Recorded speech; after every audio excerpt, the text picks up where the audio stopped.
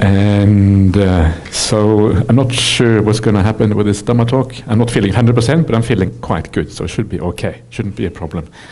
So we'll see what happens. So the, um, should we just get started, uh, Bobby? Just start talking? Okay, start talking here. As, so as a monk, you become a talking machine. They can put you on a seat, and as you open your mouth and things come out, that's kind of a, either you're very quiet or you talk. That's kind of the monastic life for you. Huh? So the uh, topic for tonight's talk is putting first things first. Yeah, sounds like a good idea, doesn't it? And uh, one of the ways of there's many ways of looking at this, but one of the ways of for understanding what has to be put first uh, is to have right view about Buddhism, to understand the world in the way that the Buddha understands the world. Because if you understand the world in the wrong way, then uh, you are, of course, it's called delusion, uh, and then you're not going to be able to make the kind of progress that the Buddha is talking about. Uh. So I'm going to talk a little bit about right view, but from a kind of maybe slightly unusual point of view, not the kind of usual way uh, we talk about this, uh, and then see what happens when we when we do this. Uh. uncertain what happens always, don't know.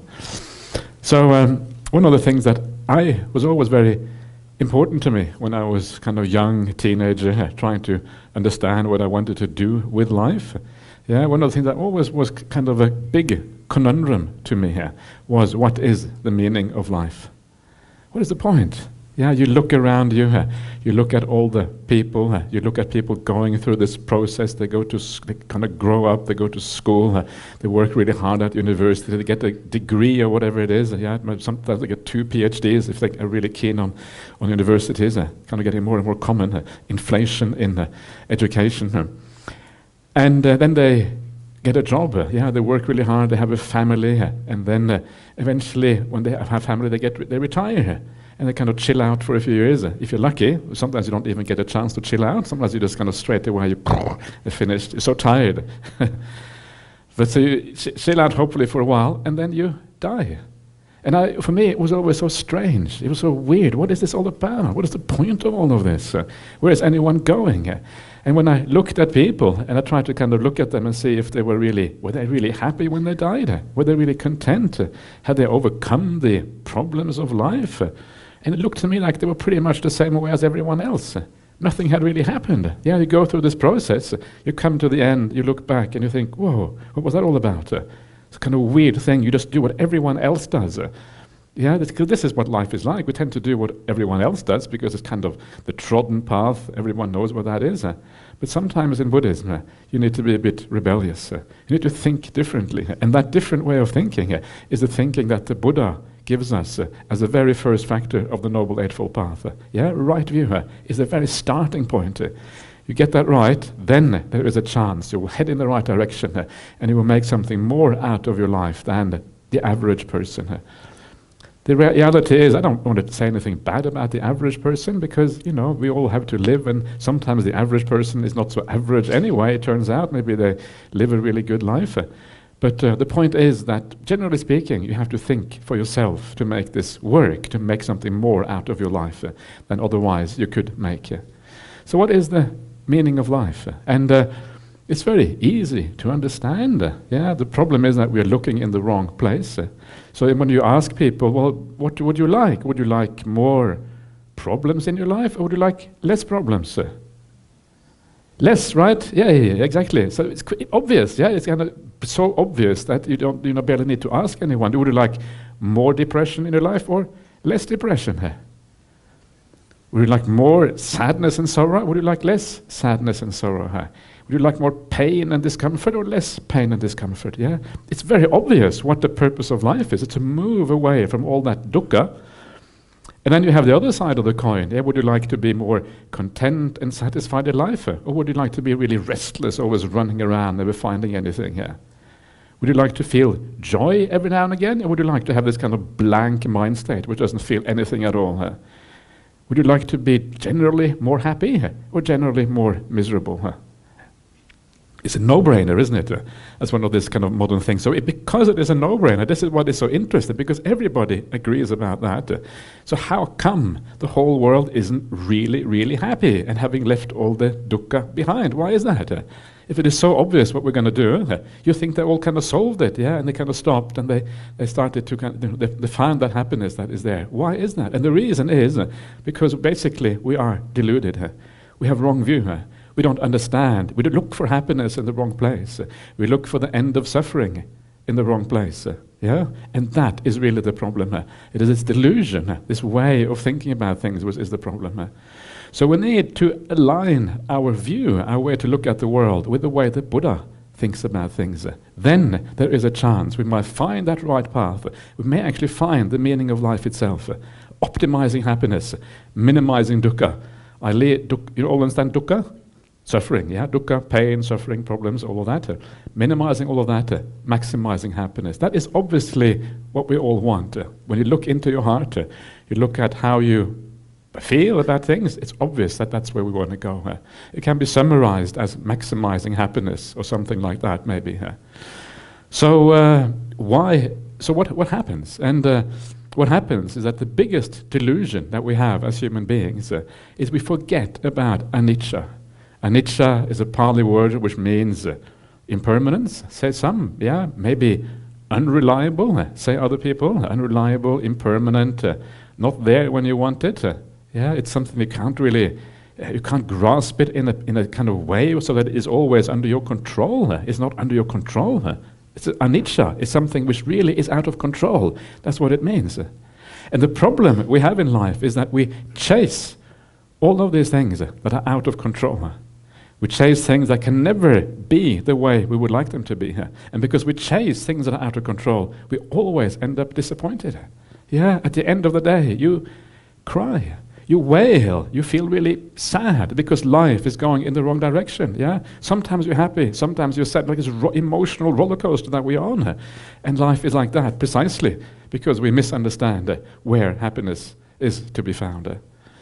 So, what is it that is impermanent? Uh, what is the problem? Yeah, what are the things that we want to kind of uh, watch out for? And what is impermanent? And this is so interesting. Is it's actually very, very broad, but the most important part, which is impermanent, uh, is the whole sensual realm.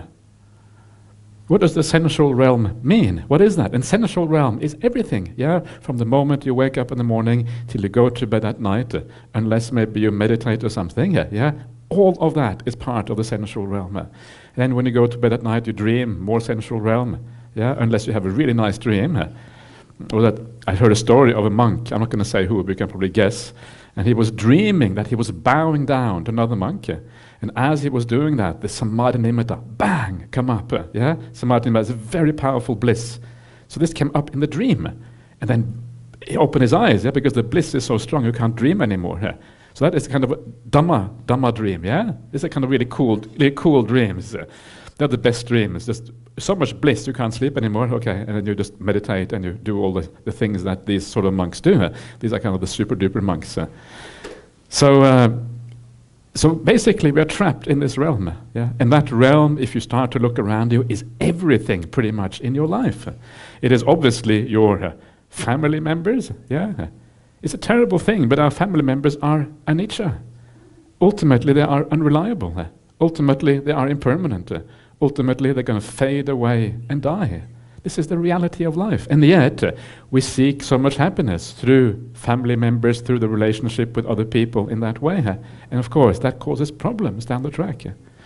Friends is exactly the same thing. The everything we own in this world, yeah, everything you own in your life, your house, your cars, whatever it is, it doesn't matter if you have a fancy car or not. Uh, one day it's going to go. Uh, you may crash it or whatever, some crazy maniac drives into you, uh, and your car is gone. And then you kind of cry. I remember when my brother, he had just got a a new car. But when I was when we were young, kind of our father kind of gave us cars. We were very spoiled brats, actually.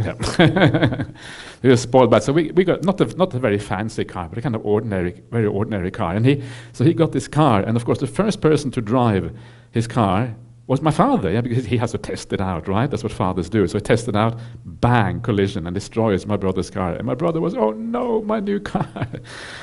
It's a small dukkha, but still, it is the dukkha is right there. Yeah. So uh, everything you own is impermanent. It's unreliable. It's going to disappear. It is subject to cessation. Eventually, you, you can't have it. Your identity is impermanent. Yeah, who you think you are is changing all the time. Yeah, depending on your social connections, your wealth, your gender. These days, people change gender, so kind of certainly your identity changes then. Yeah, and so all of these things always changing. And of course, when you die, that really challenges your, your identity big time. Your body is impermanent. Yeah. I, sometimes your body goes in the wrong way. Yeah, I, I used I have all these spots on my face, and I, am not sure why they come out. I, am still not quite sure why, because I didn't used to have this for 30 years. So I look myself in the mirror, I think, jeepers, all these spots. Yeah, impermanent. Eh? Of course, you're going to have spots. It's just way. That's just life, life for you. here. And then you put on a bit of weight as you go older. Eh? I'm going to tell you about all my defects now, all the downside. It's good to talk about your defects. And so your body is impermanent. Yeah, you never know. And then it, sometimes it's very impermanent. If you go down the street and some crazy driver, bang, goes into you, then it's super duper impermanent. And that is everything in our immediate life. But if you go beyond that, those things are also impermanent. Yeah, if you watch TV, you see what's happening in the world, you look at Malaysian society, look at climate change, you look at Donald Trump in office. Yeah, everyone is talking about Donald Trump, so I have to talk about him as well, I suppose. So it's uncertain. Yeah, it's so uncertain. that sometimes you see, you think, oh no, this is really bad. And if you get upset about the politics of the world, if you get upset about climate change, it is basically because you haven't understood anicca. This is the nature of things. It doesn't mean you shouldn't do anything to help out. You should. We should all try our very best to, uh, you know, be responsible and support the best politicians and try to. Th- we should do that. But at the end of the day, you have no idea whether what you do is going to work out or not. It may not work out, and you realize that from the very beginning. Then, when the, it doesn't work out, you shrug your shoulders. Okay, that's what I thought. Yeah, that's life. It's impermanent. So you start to see how broad it is. Yeah, you look at this BGF center here today and it's quite a nice center. Yeah, when you come in on the first, on the on the ground floor, uh, very beautiful down on the ground floor. Uh, yeah, with the big Buddha statue and all that. Uh, but don't attach too much to the beauty, because one day it's going to be gone. Yeah, suddenly it's gone.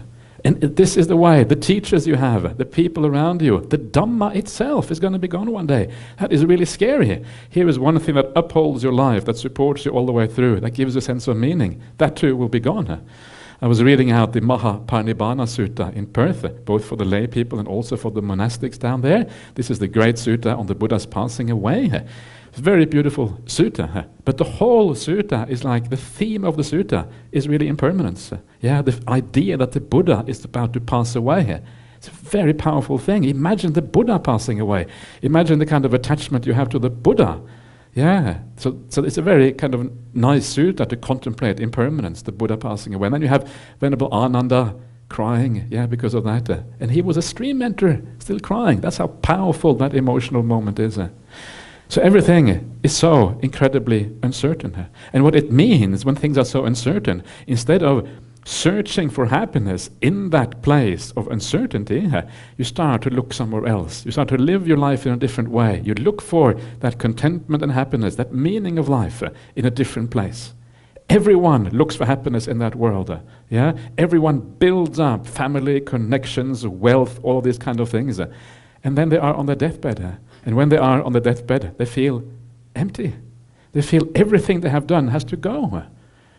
It's a terrible feeling. Yeah, you have spent your whole life building things up, doing things, making your life kind of with possessions and connections and family members and identity and whatever it is. And then you are on your deathbed, you realize everything you have done in this life was kind of it was kind of wasted because now you have nothing you're going to take with you.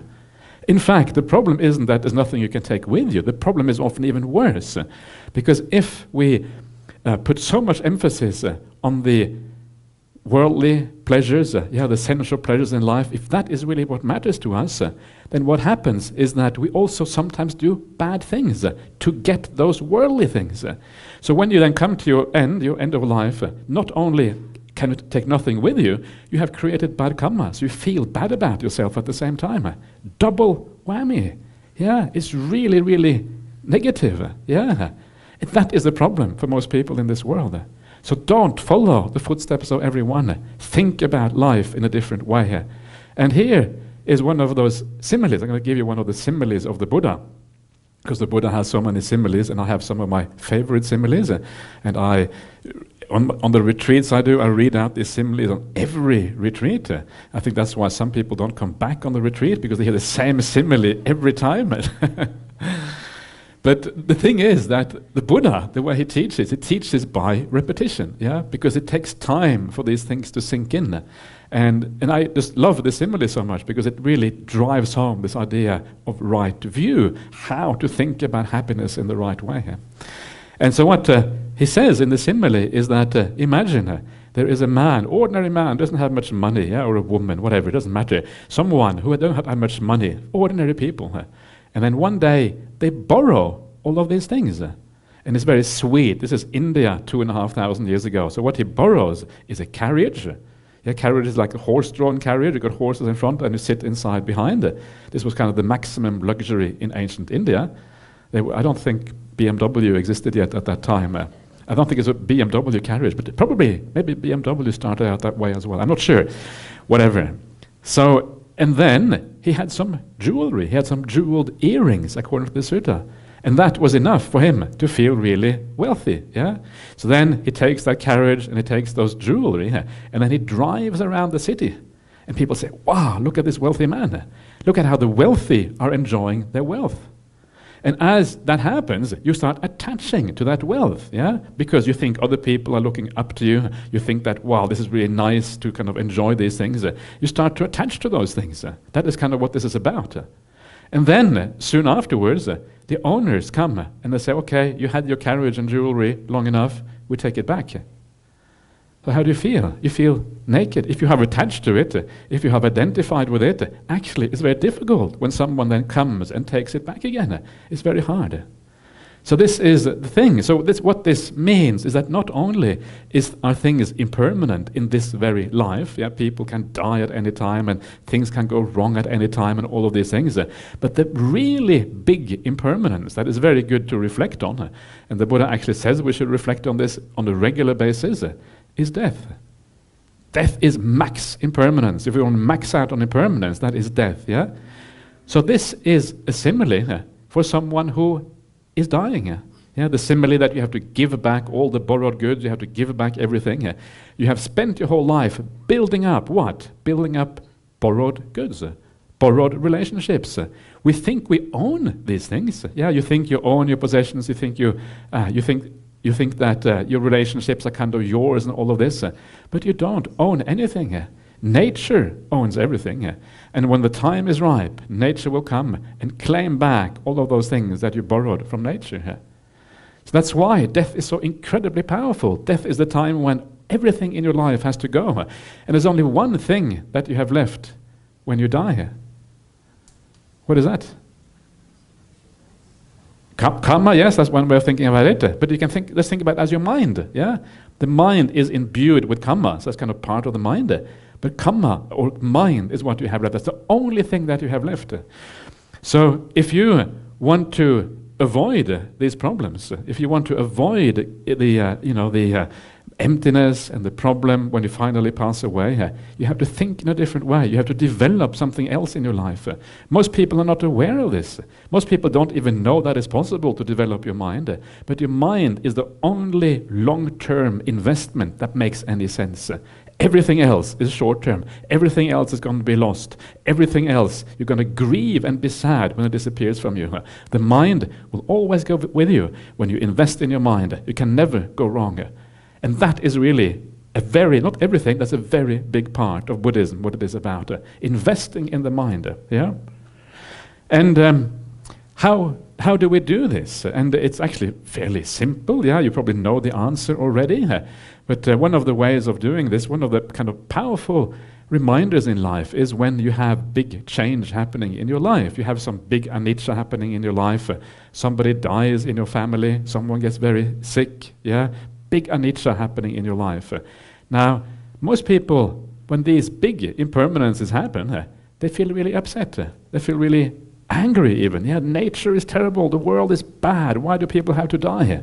Yeah, people get very upset about these things. Uh, but there is an alternative way of looking at that impermanence.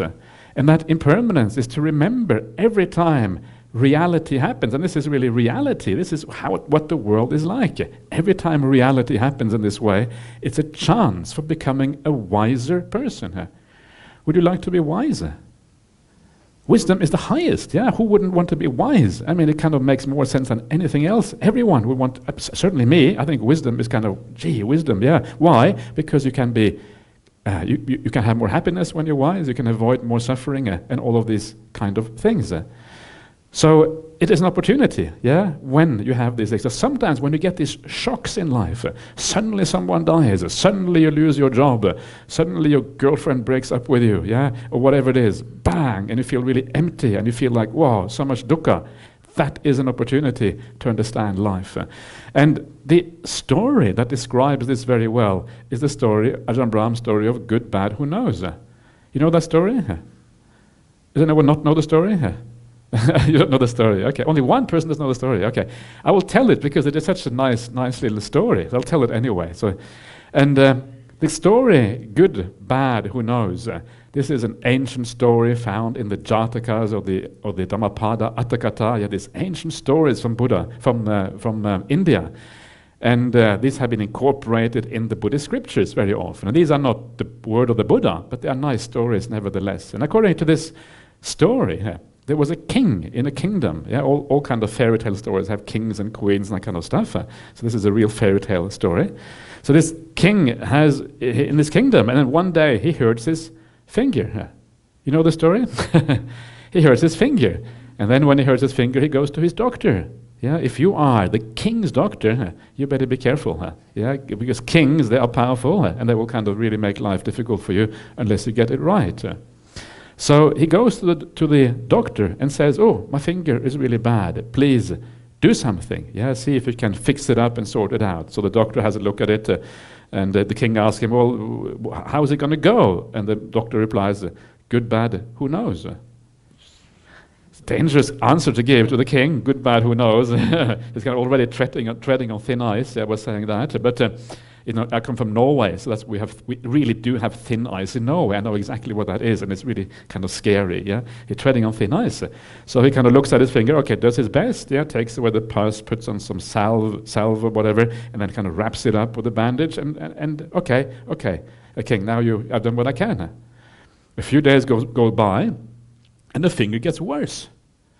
And the king goes back to the doctor. Doctor, my finger is getting worse. Yeah, what, what are you doing? Can't do do something more. And the, and uh, he's, and the, he, the doctor has a look at the finger, and the king says, "Well, what's gonna what's gonna happen?" And the doctor says, "Good, bad. Who knows?" Yeah, cuts cuts a bit a bit of the flesh. Yeah, put the salve on again, wraps it all up, and says to the king, "Okay, and now you know uh, that's that's it. That's all I can do." Huh? And then uh, a few more days go by, and the finger gets even worse. And now the king is getting pretty upset with his doctor. Yeah, maybe it was some kind of dodgy doctor, I'm not sure. But the uh, king is getting really upset and says, Oh, have a look at my finger. It's getting really, really bad now. And the doctor says, Oh, yeah, that's pretty, pretty bad. Yeah. Um, we're going to have to chop it off. We're going to have to amputate. Yeah. So and then the king, as always, asks, Well, is it going to be okay? And he again says, Good, bad, who knows? So he chops off the finger. And by now, he is so angry, the king, that he chucks his doctor into prison. And the doctor kind of ends up in a cell on water and rice. Is that really bad in Malaysia, water and rice? The only thing you eat? That's kind of, is that, is that what they have in prisons in Malaysia? What do they have? So, so, rice and curry. They get curry. Whoa, they are very fortunate. rice and curry. Okay, that's good that you look after the prisoners. They're just ordinary people anyway, the prisoners, you know, make a mistake and then that will happen. So, so, so then thro- thrown into, into prison, yeah, and he's kind of behind bars looking out, yeah, trying to figure out what's going on. And while the doctor is in prison, the king goes out hunting because one of the things that kings do they go on hu- hunting parties uh, yeah so he has this large entourage all these people going with him uh, and he goes out and he goes hunting uh, and while he is with this entourage, he gets separated from all his kind of uh, attendants, yeah? And he's suddenly by himself. And then, as he's by himself, this tribe of savages uh, see the king. wow, let's say tribe of savages, this is kind of typical fairy tale, fairy tale stuff. I don't know if they really exist, but anyway, fairy tale stuff. So tribe of savages, and they think, this here is a king. If we sacrifice this king to our gods, our gods will be really, really happy. Yeah, nothing is better than sacrificing a king. So they grab hold of the king, pull him back to the village, have to have a big, kind of solid uh, post, and they tie him to that post. And then after they have tied the post, they kind of dance. You know, you know what savages are supposed to look like? They dance around the post. Yeah, it's all very stereotypical and kind of probably never happened. But anyway, dance around the post, and then after the dancing is finished, uh, the drumming, whatever, uh, then they take the knife out, uh, and now they're going to cut his throat. Yeah, he's going to die. But just as they're about to cut his throat, uh, one of the tribesmen says, Wait, wait, look at his hand. He's missing a finger. If he is missing a finger and we offer him to our gods, the gods are not going to be happy. It has to be a complete human being. Yeah, this kind of this is a sort of a half. You know, this this kind of dodgy human beings are not, not not good enough. It has to be complete with all the limbs and everything intact. And so think, oh yeah, you have a point. Yeah, the gods will be angry if we do this. That's even worse. So they untie the king and says to the king, okay, off you go. Yeah, and. Um, uh, then uh, the uh, king goes back to his palace again and goes back to everything, yeah? And uh, then he goes down to the cellar. And when he goes down to the cellar where the doctor is kind of imprisoned, he goes up and he bows down to the doctor and says, Thank you, doctor. Thank you. You are the best doctor in the universe. You, you saved my life. Without you, there would be no saving of a life. And the doctor says, Good, bad, who knows? or something like that. And this is such a beautiful simile for life. It sounds like a kind of funny, typical Ajahn Brahm story, but it's a, you know, it's a simile for life because we don't know the outcome of things. You go through a really hard time. Someone, as I said before, something goes wrong in your life. You have a really, really hard time. But somehow, because you are wise about it, because you use it, you kind of carry on, you get through it. You learn something about life. And when you learn something about life, what you are learning really is right view. You start to see the world for what it actually is. And you understand that all of this building up of external things, the building up of things that are impermanent, it's crazy. I have to look for real happiness somewhere else. That is the point of this. Yeah, good, bad, who knows? In the long run, big calamities can actually be quite useful uh, because they change your view about things. Uh. So, uh, what does this mean? What does this mean insofar as how we should live? Does it mean that you have to shave your head and become a monastic straight away? Is that what it means? I might not get it. If that's the case, you, you know, I might be wasting my time, right? Because I'm not sure how many of you are ready for that. But um, is that what it means? Not necessarily. What it means is that we start to think about life in a different way. Instead of thinking about all the things, the, the end result, where we're trying to go, building up all, all of these things, instead we think about the process, how we do things in our life. Uh, because when you think about the process, how you, do, how you do things in the life, you actually, that is what it means to cultivate the mind. So if you do the right process. What is that process? Well, it's being kind, it's being generous. It's to avoid harassing people and make, giving people a hard time. Yeah, this is what it is about. Because everything you do in that, in the how you deal with the world around you, all of that is what builds up your mind inside. And it's very easy to say, uh, this is one another thing I always say on these retreats, very easy to see this. Uh, because how do you feel if you really are kind to somebody else? Uh, if you're really coming from your heart and you do an act of kindness, how do you feel? You feel good. I feel good. If I tend to feel good if I do something kind to somebody, I say, here you are, it's like you are giving up something of yourself and giving it to someone else. Every time you use right speech, Every time you really care for somebody else, you're actually building up that positive feeling inside. And what is so astonishing about this is that these feelings, if it is worldly, sensual pleasures, then they come and they disappear again, and there's no kind of doesn't leave any imprint on the mind. It doesn't do anything for you. But these kind of happiness that comes through living well, living in the right way, it leaves an imprint on your mind. And every time you're doing good action, every time you avoid doing something bad, it's like you're lifting up your mind one step. Yeah, your mind gets kind of more bright. And maybe you lose a bit of that energy, but generally speaking, you're on this curve going upwards. Your mind becoming brighter and brighter and brighter, more and more beautiful. Because, why? Because that is what happiness is. Happiness is this lightness inside, contentment in your life, all of these positive things.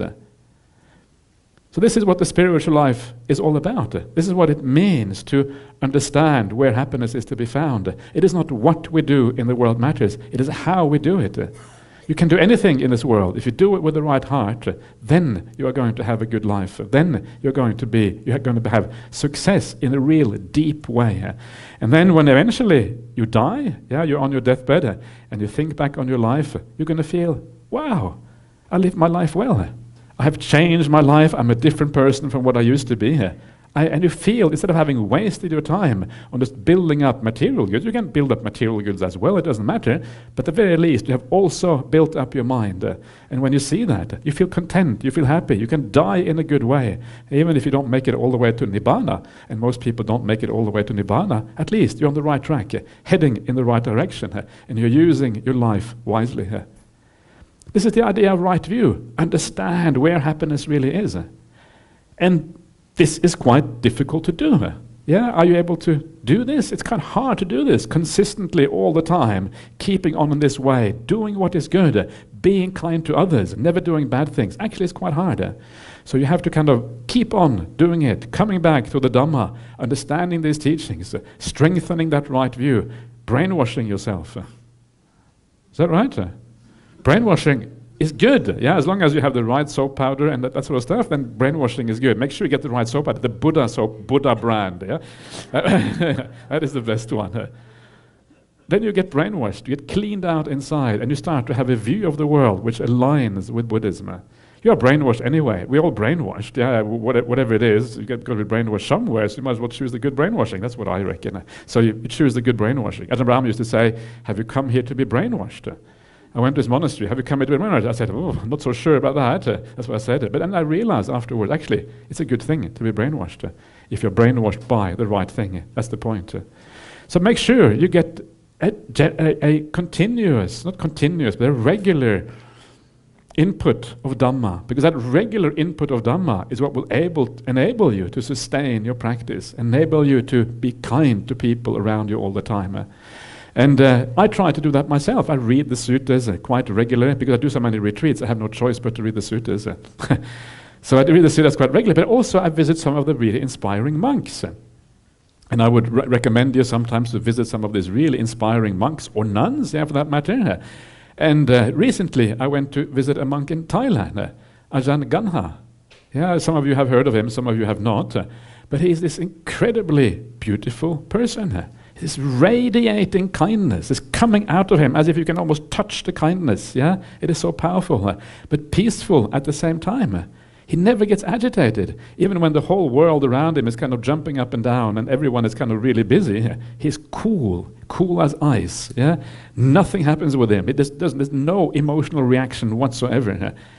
That coolness combined with kindness is very, very powerful. And you think, when you think, yeah, if there are arahants in the world, this might be one of them. Yeah, this is what you expect arahants to be like. Yeah. I once asked Ajahn Brahm, and he said, well, if there's any arahants in the world, he pointed out two people, and one of them was Ajahn Ganha. I'm not going to say who the other one is, but anyway.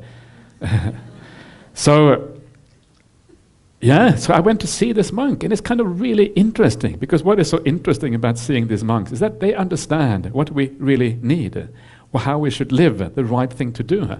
So when he talked and he gave a Dhamma talk, he was, it's so simple. Yeah, it's so simple. He says, when you wake up in the morning, make sure you are kind to, the, to everyone around you all the time. Make sure you do something positive for the world today when he talks about uh, when he talks about right speech. This time when I was there, he talked a lot about right speech, uh, and he reminded us that when you speak, uh, there's a possibility of being kind and caring to the people around us because speech is so powerful. You know how you can detract from pe other people's happiness by speaking in a harsh way, and you feel really bad. You feel kind of on edge if people are too harsh. So he says, make sure you use your speech as an opportunity to do dana, to be generous because it's powerful, this possibility of giving to people in your speech. You're, you're kind of expanding the idea of dana to include everything, all the precepts, everything you have.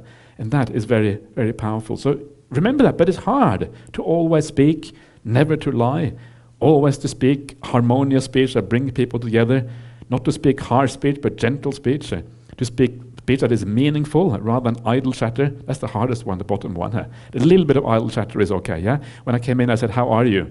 And you said, Good, and that was it. That was the idle chatter. Short to the point, yeah? Done.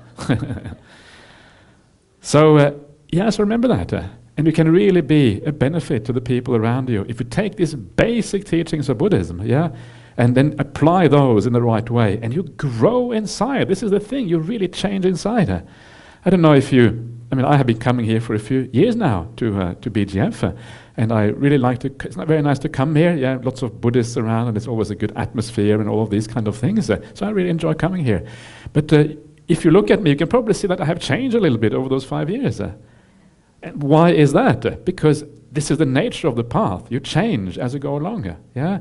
You become more bright. You get all of these good qualities. And if I look back to what I was like 25 years ago, I've been a monk for 25 years now, it's a bit scary to think back what I was like. But what it tells me is that the path works. It does change you inside. You become gradually a different person. And one of the great things about seeing Ajahn Ganha is like Ajahn Ganha, he's like the final product of this path. Yeah? Always bright, always aware, always cool. And when you see that, you realize this is something incredibly worthwhile. What else can you want in your life? This is it. This really is the end point of the path. You have all the happiness in the world. You have almost no dukkha. You never see Ajahn Ganha grimacing or looking sad. He never looks sad. He always looks happy and bright.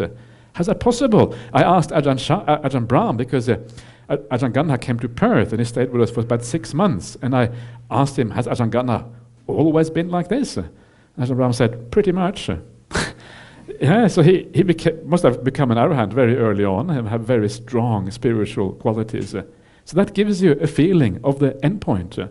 And the teachings that he gives are these simple teachings, teachings that we often forget. We think that meditation is what Buddhism is about. No, what Buddhism is about is a purification of your heart and your mind. That is what it really is about. And meditation is a tool on that path but really, you can do so much more, yeah, before you actually even come to meditation practice. Uh, so if you don't like to meditate, no problem. Don't meditate. Yeah, it's all right. But be kind. Whatever you do in your life, be kind. And this is really the kind of the final thing. I don't need to say more than that, really. That's the final thing. If you can work on that kindness, improve it, go in the right direction, then you will be one of those people that when eventually you lie on your deathbed uh, and you're about to pass away, you will feel content. Uh, you will feel happy because you have lived your life in a good way and you have done the right thing. Yeah? That is such a beautiful thing. And if you take it even further, well, maybe you can even become like Ajahn Ganha. Okay, I'm not going to talk anymore because uh, enough, yeah. I, I'm fed up of talking, so I'm going to stop there.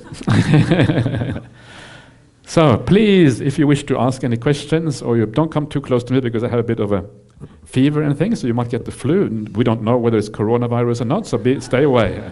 Stay away. so. Um, Those who like to ask questions, kindly go to the two mics here or raise your hands, I try to come to you. All, all these are recorded. You can go to BGF YouTube and uh, look at the videos. and also, we are passing around donation boxes so that we can uh, give some funds to support Bodhinyana. and uh, you see Ang Pao wrappers at the front, so uh, feel free to take it and offer to Ajahn. Okay, please so ask questions because. Any questions? You want to be wise, yeah? So if you want to be wise, you got to ask questions. That's the. It's actually in the sutras. So. Uh, John, thank you very much. Yes.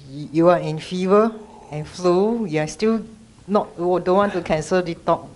so we want to know the inspirations for continue this. Uh, just you are sick, also still giving talk. Yeah.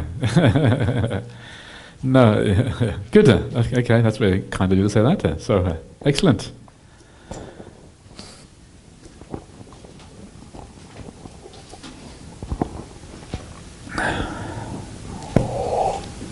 If you have some really stupid questions, they're the best ones. Remember that, yeah? People are often afraid. They think that their questions are really stupid, but usually that means it's good. Everyone is thinking that my question is stupid. So, Usually good.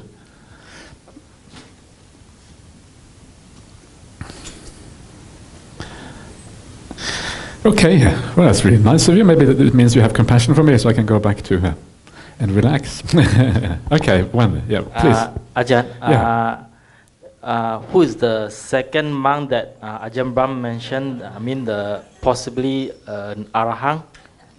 Who was the second monk? Yeah. What Ajahn Brahm said at the time, he said, he said uh, Luang Por that's what he said. Uh, Luang Por the abbot of Wat Pah Pong, yeah, he took over after Ajahn Chah, so he was kind of, um, so he, he would have been very powerful, otherwise Ajahn Chah wouldn't put him in that position, yeah. So Luang Por and Ajahn Ganha. So uh, I, I don't think Ajahn Brahm would have said himself that, that, that monks don't do that, uh, so that's kind of uns- more uncertain. so uh, yeah. Yeah. We. Over there. Yeah.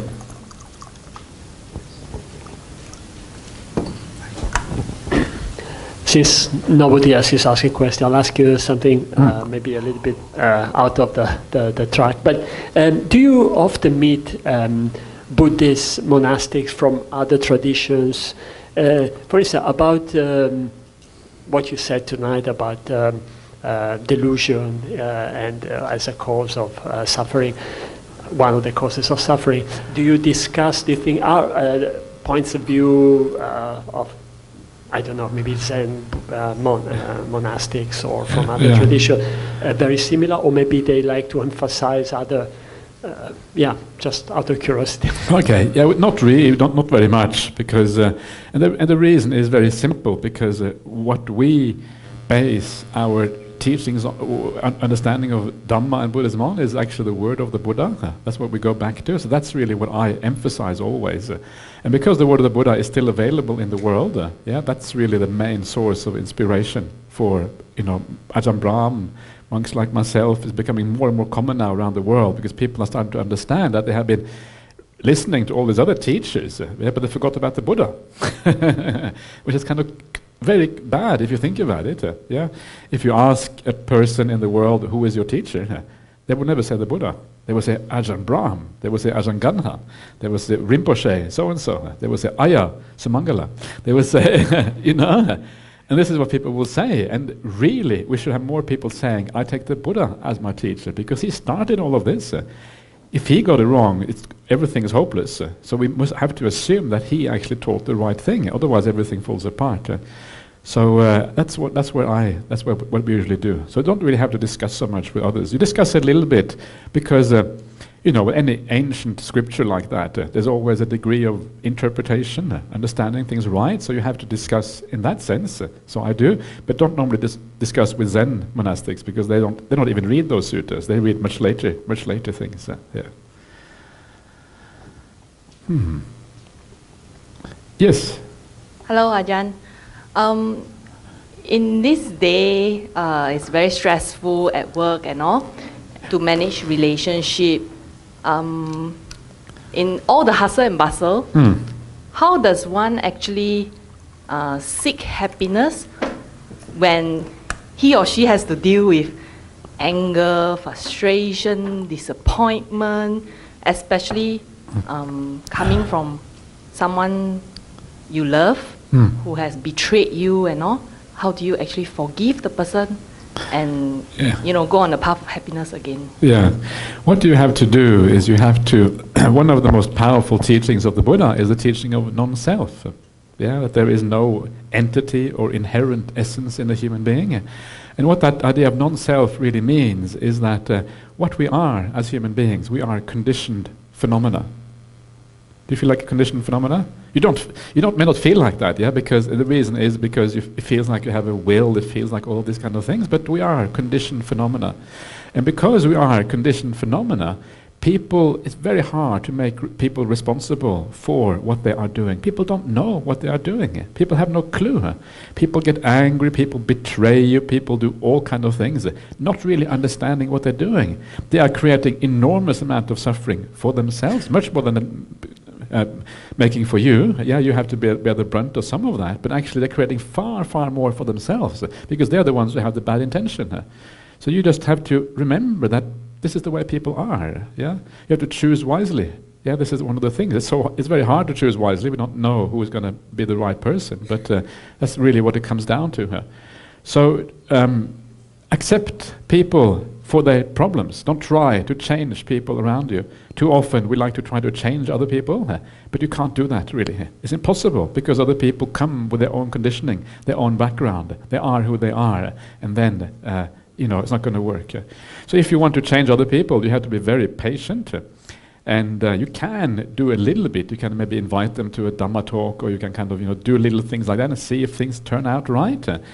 But uh, in the end, you have to always remember that it's uncertain uh, and unreliable. No idea whether it's going to work out for you or not, uh, and that is the uh, that, that, that is the problem. So you have to understand the world in the right way. This is part of this understanding of anicca, yeah, impermanent, unreliable. Everything is unreliable. You shouldn't really be surprised when things are so unreliable. You shouldn't be surprised when someone, you know, does bad things to you because that's kind of part and parcel of, of life, really. They betray you or whatever. yeah. Does that make any sense? Kind of. These are things you have to think about. Yeah, again and again. These are deep kind of realities of uh, of human existence, and uh, it is it leads to forgiveness because once you understand that people are really just hurting themselves, nobody wants to hurt themselves, and yet that's what they do. Then you start to have compassion for them. Yeah, because they're foolish. That's the problem. And then you can forgive, and then you can let go of those things. Yeah. Okay, okay, okay. Raise your hands, I come to you.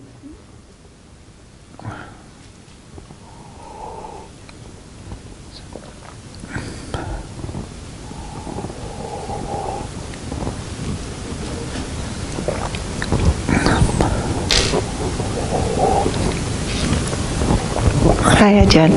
Uh, the other night, uh, you had a, you gave a talk, and I was saying that uh, I was asking, do people should people just exist or leave? Remember, Sh- should they? people say- just exist. Is it- or- Oh yeah. Okay. Yeah. That was, Right. okay. That was from you. Okay. Yeah. Yeah. right. yeah. And uh, Yeah. at the beginning of your talk, you were saying people just get born, Yeah. and then they just do stuff, and before they know it, they're on a deathbed, right? Yeah. That's exactly what I meant, actually. Mm, That's mm. called existing. Mm, mm. They exist, but they don't live. Yeah. That's what I meant. Okay. So, Yeah, Because the other night you actually Yeah. couldn't quite understand what I, I was asking. Sure. Yeah, but then living, uh, of course, means like really doing things, and uh, like what Ajahn said, that uh, you have achieved, Mm. right, uh, certain things. So I just wanted to say this. Yeah. Okay. Thank okay. you. Very good. Yeah. Yeah. Okay.